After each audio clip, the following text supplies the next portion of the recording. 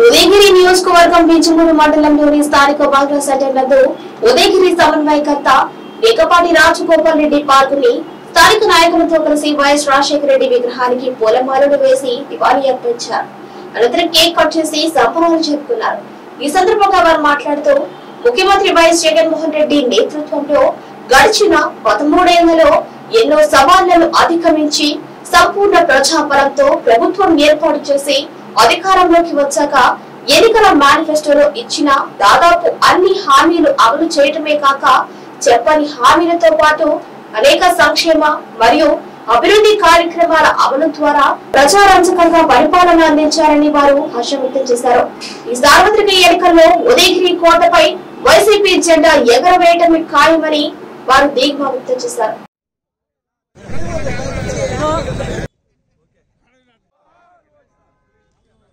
ప్రతి ఒక్కరూ ఇది గమనించాలి.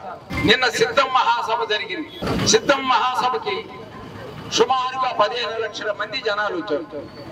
పదిహేను లక్షల మందిని ఒక చోట చూడటం అనేది బహుశా ప్రపంచంలోనే ఎక్కడా ఉండకపోవచ్చు ఈ విధమైన ఇది వింతలాగా ఉంది.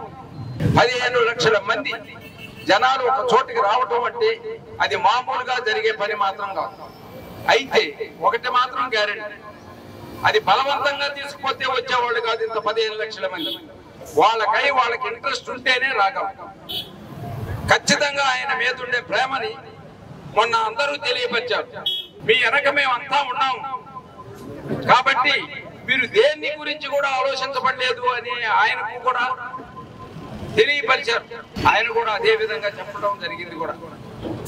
రేపు మళ్ళా మేనిఫెస్టో రాబోతుంది. ఆ మేనిఫెస్టోలో అది కూడా ప్రతి ఒక్కటి ప్రజలకు ఉపయోగపడే పద్ధతిలోనే ఆయన చెప్పడం జరుగుతుంది.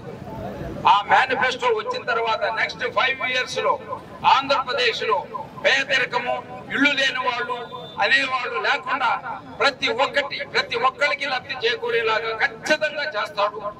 ఖచ్చితంగా ఆయన చెప్పిన మాట నిలబెట్టుకుంటాడు.